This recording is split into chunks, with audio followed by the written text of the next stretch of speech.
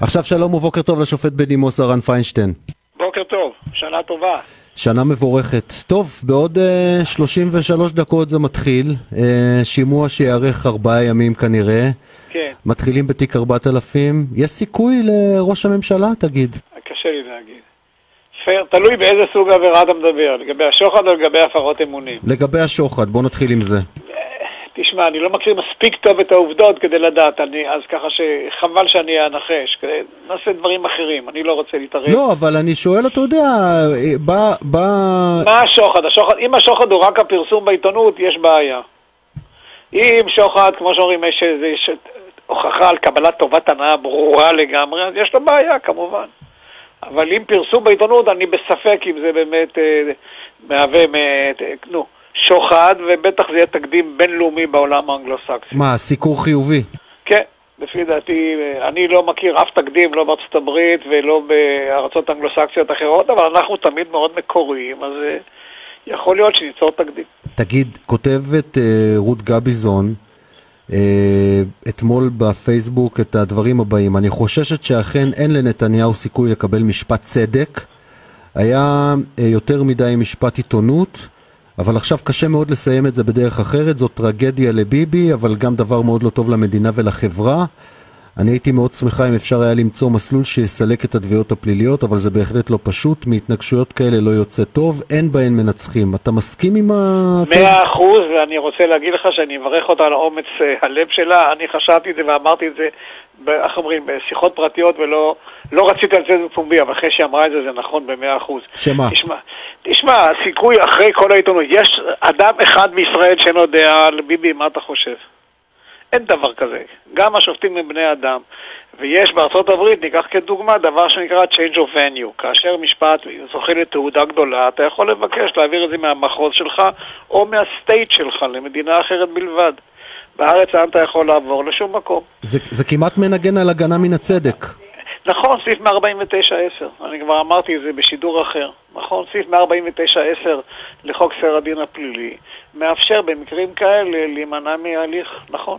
מה, מה, מה בעצם התזה? בבסיסה עומדת מה? אה, עומד מה? חוסר אמון במערכת? זה חוסר... לא של חוסר אמון, תשמע, כולנו רק בני אדם. עזוב, אני לא פה, לא, אין פה איזה עניין אישי שחס וחלילה אחד מהשופטים יטה את הדין. אבל כל המהוה וכל השנתיים, שלוש החקירות, יש להם השפעה. גם שופט הוא בן אדם, וזה המון. כלומר, אתה אומר, התנהל כאן משפט, מה שרות גבינזון אה, כותבת ומה שאתה מנסה לחדד כאן, זה שכבר התנהל משפט ציבורי ונגזר דינו של נתניהו? רות גביזון צודקת במאה אחוז במה שהיא כתבה. ממש ככה. תשמע, זו בעיה מאוד רצינית, מפני שאתה צריך להבין שגם אנחנו, גם שופטים, כולנו רק בני אדם. ובמקרה כזה ההשפעה, השטיפת, לא שטיפת מוח במובן השלילי, אבל זרם הידיעות. עכשיו, תיקח בחשבון דבר אחד נוסף, שהעבירה למשל של הפרת אמונים, שהיא עבירה נוראית, נוראית, אתה יודע להגדיר אותה? זה עניין של תפיסת עולם של שופט. כמו קלון, אתה יודע להגדיר קלון? אתה לא יודע להגדיר קלון, גם אני לא יודע, אף אחד לא יודע על הפרת אמונים, וכל משפטן יאמר לך שבחשיבה אובייקטיבית שצריך להסיר את העבירה הזאת מספר החוקים. אבל כנגד הטענה של גביזון ושלך שנתניהו כבר הורשע ציבורית, אתה יודע, נו. יבואו ויגידו לך, תשמע, מדובר בראש ממשלה, כמובן שכל דבר שעוסק בו זוכה לתעודה גדולה. אין גבול, אין משפחה, אין זכויות של בן אדם, הוא לא אדם, שוויון לפי החוק. אתה, בטח יש לך הרבה מאזינים אה, אה, דתיים. הרמב"ם קבע על השוויית הדינים. אתה באמת חושב שיש פה התנהלות רגילה כלפי כל נאשם? שכל העיתונות במשך שנתיים וחצי והטלוויזיה והתקשורת חופרים בעניין? אתה מכיר, תקרא את ספרי, תראה כמה תיקים פליליים אני דנתי, לא שמעת על אף אחד מהם, למה? עכשיו, אין לו זכויות בדיוק כמו שלך ולי? לא מבין. מה, אין, השוויון הוא יחסי? איפה, איפה הגבול? איפה אתה שם את הגבול? ואני, אתה יודע מה? אני מסיר את הכובע בפני גבר, פרופסור גביזון. אגב, היא כתבה מאמר דומה בחוברת משפטים מספר 1, עמוד 1, והיא אומרת, הפרת אמונים כזאת, צריך שהציבור יחליט ולא בית המשפט. אז אני אם, זוכר את זה לפני 25, אה, זה 30 שנה יותר. אז אם אתה כשופט בדימוס, שופט, אומר לי שהשופטים הם בשר ודם, ואם, נכון. ואם נתניהו כבר הורשע ציבורית, אז הסיכוי שלהם לשפוט כאן משפט צדק הוא סיכוי די קלוש. אני לא יודע מה זה משפט צדק, אז לא, זה ביטוי שאני לא מכיר אותו. מה אני לא זאת מה זאת. אומרת? מעניין ששופט בדימוס אומר לי שהוא לא מכיר את הביטוי משפט צדק. אני לא יודע מה, מה זה משפט צדק, מה, צדק זה דבר יחסי. אה, אין דבר כזה משפט צדק, זה ביטוי של ככה, ביטוי המוני, אבל זה לא ביטוי משפטי. טוב, זה כורת את הגזע שעליו אה, כל, ה, כל הקונסטרוקציה הזאת אה, מושתתת עליו. יכול להיות, לא יודע. אני, אני אומר גם לסטודנטים שלי באוניברסיטה, רבותיי, צדק זה דבר מאוד מאוד יחסי, כן? כמו כל ההגדרות האחרות, זה עניין תלוי בתפיסת העולם של כל שופט, של כל בן אדם. אני אומר לך עוד פעם, תגיד, אני מכיר כמה מקרים, כמה פסקי דין שאנשים חיכו חמש-שש שנים לפסק דין בעליון. זה הפרת אמונים? לא, אבל מה שאני מנסה ל, ל, לכוון לש, ל, לנקודה, אני אומר, אם אתה מסכים עם גביזון, ש, ו, ואתה בעצמך שופט, שהוא כבר הורשע תקשורתית, אז, אז אתה אומר, יש קושי רב. יש קושי רב לשופטים, נכון, לא, נכון, כל, לא כל נכון. שכן ליועץ המשפטי לממשלה שנתון תחת לחץ פסיכי כבר שלוש שנים. יותר מזה, אם כבר אתה מדבר על היועץ המשפטי, כתב החשדות זה תקדים חד פעמי מ-48. אתה מכיר עוד מקרה של כתב חשדות נגד ריבלי, נגד פרופסור נאמן? אתה שמעת פעם את הביטוי הזה בכלל? לא, לא היה כתב חשדות נגד ליברמן בזמנו? לא. אוקיי. במפורש לא, ניהלו 17 שנה תיק עד שהוא זוכה. עכשיו, מה אתה אומר? באה הפרקליטות ומודיעה קבל עם ועדה שזו עמדתה. אתה צופה שבעוד חמישה ימים אומרים, חבר'ה, טעינו, לא היה כלום? ממש לא. אז בשביל מה כתב החשדות? תגיד לי אתה, אם אתה... אתה מודיע מראש, אם אתה מודיע מראש את עמדתך, אז אני בא ואומר, אל תודיעו כלום, תנהלו איתוק, תגישו כתב אישום, תנו להגיב. אבל ברגע שאתם יוצאים בפומבי ומכריזים בפומבי מה עמדתכם ומה כל הראיות שלכם, אתה חושב שיש פה פסיכולוגית בן אדם אחד שיחזור בו? שמע, זו שיחה נורא מתסכלת. מה לעשות, אני מתנצל. לא, מה, מה אתה בעצם אומר לי? שכל המערכת הזאת היא מה? אני לא אומר שום דבר למערכת, אני אומר שהייתה טעות לפרסם מכתב החשדות, אני אומר שחקרו זה בסדר גמור, רוצים להגיש כתב אישום מצוין, תתדיינו בבית המשפט, זה המקום הנכון, לא בפומבי, לא, אבל השימוע הזה יש לו בכלל ערך? לא יודע. לפי מה שאתה אומר, לא. אני אומר שיש קושי רב מאוד לאנשי פרקליטות, אחרי שהם הודיעו בפומבי, בכתב חשדות, שזה תקדים היסטורי, את, את עמדתם, לחזור בהם, זה נכון, אבל אני, אני סומך עליהם שהם הגונים, ואם הם ישתכנעו שאכן אין טענות, אז הם ידעו שאין כלום. כן, אתה באמת, מהם. אתה באמת, כבוד השופט ארן, סומך עליהם שאחרי כל זה, אם הם ירגישו עכשיו בשימוע, ש... אני סומך על ההגינות שלהם, כן. אתה, לא, לא אומר לך מילה רעה על ההגינות של אנשי הפרקליטות, אני יכול להגיד שהם פעם פעם הם טועים. מה זה טועים? אנשים שעל פי כל הסימנים הדליפו בלי הפסקה, לא יודע, איזה 70 או 100 עמודים מתוך 70 אלף, אתה יודע. נכון.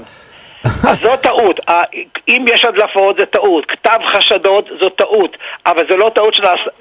זה לא טעות שנעשה בטוב, ברוע הלב לעניות דעתי, זה טעות בשיקול הדעת. לכן אני גם חושב שהטעות, טעות אחת של הפרקליטות, צריך לתת אה, לפרקליטים של אה, נתניהו לטעון בפומבי, על סמך עקרון השוויון. אה, היית, היית, אתה בעד אה, מה שרצה ראש הממשלה? כן, שהשימוע... למה לא? אם אתה, אם אתה מכריז בכתב חשדות בפומבי, למה אין זכות להגיב על כתב החדשות, החשדות בפומבי? מה ההבדל? כי הם אמרו שאין תקדים לדבר הזה. אז נכון, ויש תקדים לכתב חשדות?